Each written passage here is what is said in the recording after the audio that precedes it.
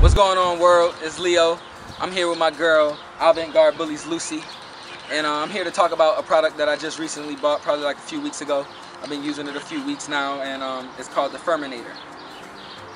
It's about $49.99, $59.99 at any pet store. Uh, you can check the link below. I have it on Amazon, Petco, PetSmart, wherever they sell it at. But uh, I just want to jump right into it. So this is the Furminator uh, out of the package. Out of the package it comes with this little clip that goes over the, uh, the blades. And this little push button actually pushes the hair out. It works great. Um, it keeps my dog's coats nice.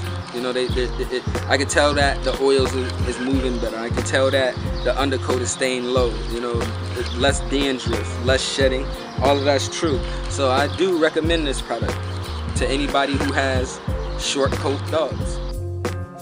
As you can see, I'm brushing Lucy here. When I push the button, the hair comes right out and I can proceed with brushing her again. Lucy's such a good dog. She sits here while I brush her. I think she likes it. If you don't like pushing the hair out, you can purchase the vacuum accessory for the Furminator. These four pieces are what you find inside the box. You put these four pieces together to put the Furminator and attach it to your vacuum. This piece right here is the bigger piece. This is the handle. I think this piece was put together very well. The Furminator fits right inside of it real good. This black piece goes inside your vacuum. The Furminator handle fits good, real snug inside this piece that attaches to the vacuum. You strap it in and it's ready to use. You put the Furminator handle on and you're ready to start rocking.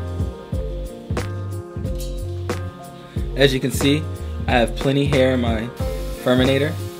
And when I push the button,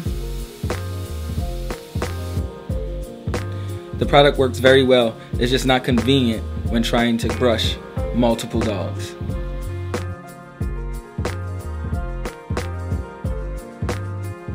As you see, I try to use the vacuum handle while brushing her. It's just too big. I, I find it better to use the brush without having it attached to my vacuum. I have a pretty large house vacuum, so the Furminator was not a good fit on the edge of my vacuum. If you have a smaller vacuum, I would suggest you try using a smaller vacuum, something that you would plug into a car, or a smaller house vacuum. Maybe it'll work better while brushing the dog. I would suggest a person to purchase this if they have one or two dogs.